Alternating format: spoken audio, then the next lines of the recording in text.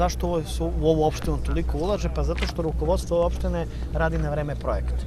I ako želite da dobijete novac, onda morate imati projekte, a oni obično kada dobije država novac za nešto, oni već imaju projekte i zato se toliko više radi u Svilajncu nego u nekim drugim opštinama, što treba da bude nauk nekim drugim predstavnicima opština kako se radi posao. Mi to radimo zajedno, jer ovo sve, jer je naprosto da bi se uradio na ovakav projekat moraju da učestvuje sva ministarstva zajedno. I ovo je dobar put kako rešavamo probleme. U opštini Svilajnac smo prvi put uradili prvo, vraćamo sve puteve ne u pređašnje stanje, jer ovi ljudi koji žive ovde znaju dobro kakvo je bilo pređašnje stanje, ono nije baš bilo idealno, pošto se 30 godina sigurno ništa nije radilo, već radimo nove puteve, to je jedna stvar.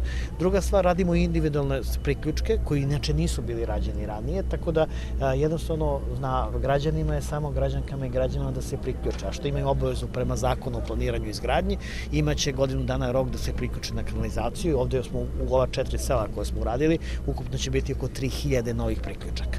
A što se tiče drugih projekata, mi imamo projekat obilaznice oko Svilajnca, to je istorijski projekat za Svilajnac.